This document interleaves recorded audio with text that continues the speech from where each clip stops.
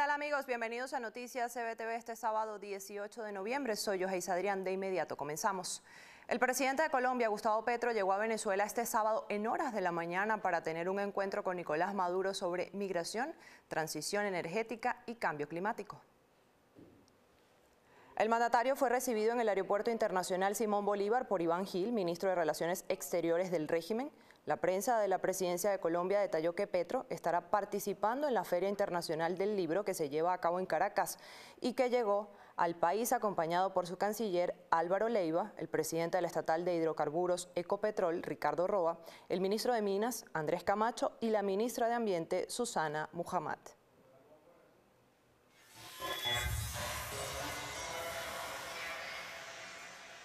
El vicepresidente de Guyana, Barat Jadeo, acusó a Delcy Rodríguez de mentir ante la Corte Internacional de Justicia sobre el presunto maltrato que reciben nuestros nacionales en ese país.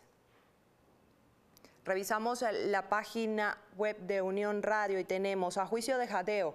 Rodríguez lo que estaría intentando en La Haya es ganar puntos políticos por denunciar supuestas violaciones a las normas internacionales y dijo que Venezuela no debería tergiversar este tema en la Corte Internacional de Justicia. Insistió en que es parte de un pretexto para justificar una acción por parte de Venezuela con el fin de tomar el Esequibo por la fuerza tal y como hiciera Rusia con regiones de Ucrania. Ella espera conseguir la simpatía del tribunal, dijo el vicepresidente de Guyana, y aclaró que aquellos venezolanos que infrinjan las leyes guyanesas van a ser castigados. En Venezuela se registran más de 14.000 muertes por la intervención de los cuerpos de seguridad, así lo informó la organización llamada Monitor del Uso de la Fuerza Letal en Venezuela. Esta organización que busca información detallada y hace investigaciones y análisis sobre la actuación de los cuerpos de seguridad del régimen de Nicolás Maduro indica que una tercera parte de los homicidios son cometidos por el propio Estado.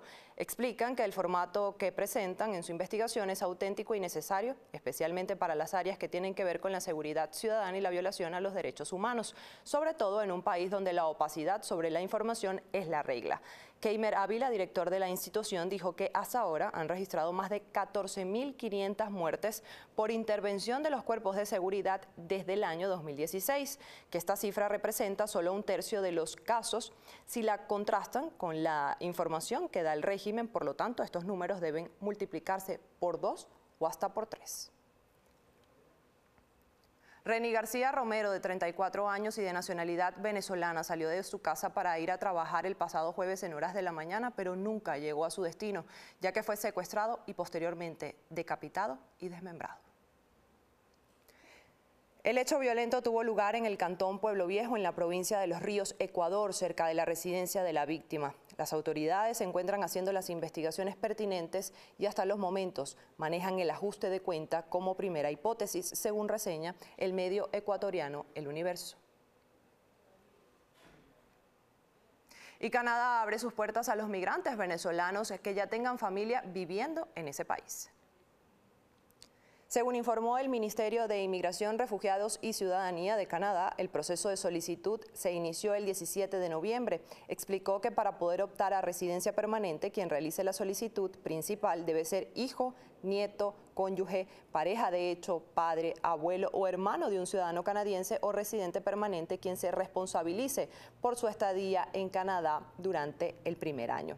Quienes resulten aprobados por esta vía humanitaria recibirán servicios previos a su llegada a ese país y también serán evaluados desde el punto de vista laboral para medir sus habilidades y conocimientos. Así tendrán el apoyo de una organización y optar a ser susceptibles de recibir ayuda financiera y este 18 de noviembre se cumplen 314 años desde que la Virgen de la Chiquinquirá apareció en la orilla del lago de Maracaibo.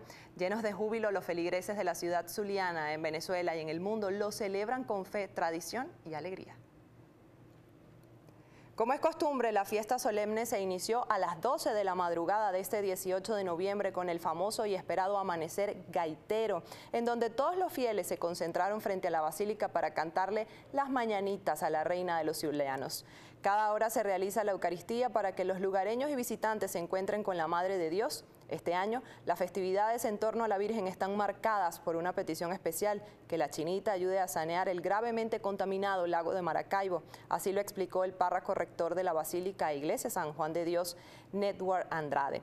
Pero el fervor por la santa patrona de los, de los zulianos traspasó fronteras, pues la diáspora venezolana llevó su fe y alegría a otras latitudes como Madrid, Galicia, Argentina, Chile, Perú y Estados Unidos, donde también se realiza esta celebración.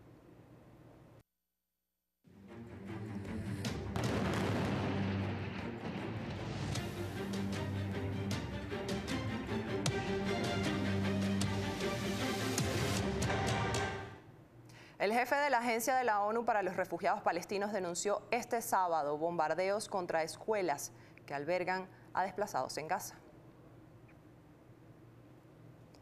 Estamos recibiendo imágenes horrendas de muchos muertos y heridos, una vez más en la escuela que albergaba a miles de personas desplazadas en el norte de la franja de Gaza, escribió Philip Lazzarini en la red X.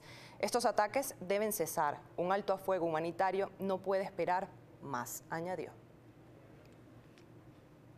Israel autorizó la entrada de dos camiones diarios con combustible a Gaza tras petición de Estados Unidos.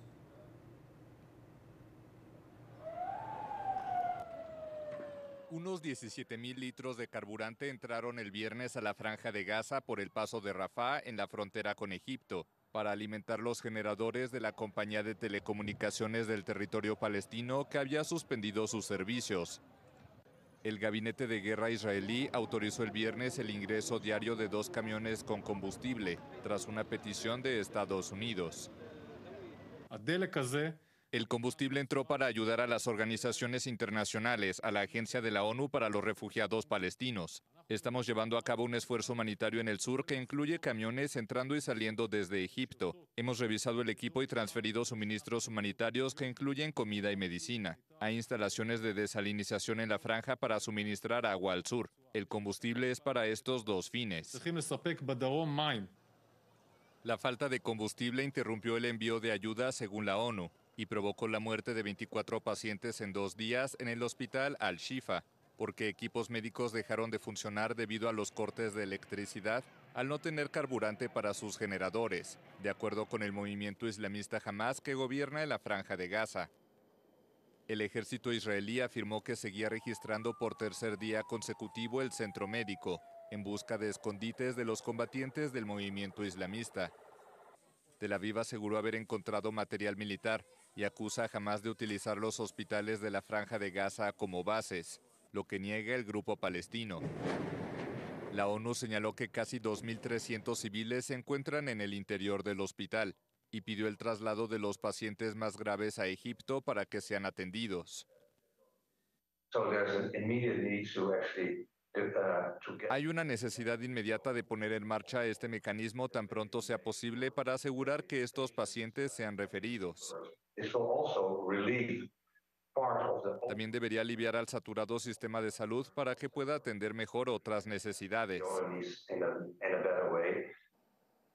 Israel prometió aniquilar a Hamas desde que sus milicianos mataron a 1.200 personas en territorio israelí y capturaron a unos 240 rehenes el pasado 7 de octubre. Las fuerzas israelíes bombardean desde entonces la franja de Gaza y lanzaron una operación terrestre en una ofensiva que ha dejado 12.000 muertos, según el Ministerio de Salud de Hamas. Familiares de los rehenes de Hamas marcharon en Jerusalén para exigir su liberación. Aunque se ha hablado de un posible diálogo entre el gobierno israelí y el grupo terrorista para conseguir la liberación de al menos algunos de los rehenes, hasta el momento ninguna de las partes ha confirmado la inminencia de un acuerdo. Gritos como tráiganlos de vuelta a casa ya se escuchaban de parte de los manifestantes, quienes acompañaban sus protestas con pancartas que reflejaban los nombres de sus familiares. Y precisamente el Papa Francisco dijo que se reunirá con los familiares de rehenes de Hamas. Esta reunión será en la mañana del miércoles 22 de noviembre al margen de la audiencia general. El Papa Francisco se encontrará con un grupo de familiares de israelíes que están como rehenes en Gaza y un grupo de familiares de palestinos que sufren el conflicto en Gaza, explicó el comunicado del Vaticano. Con estos encuentros de naturaleza exclusivamente humanitaria, el Papa Francisco quiere demostrar su cercanía espiritual al sufrimiento de cada uno, agregó. Hacemos nuestra primera pausa, enseguida regresamos.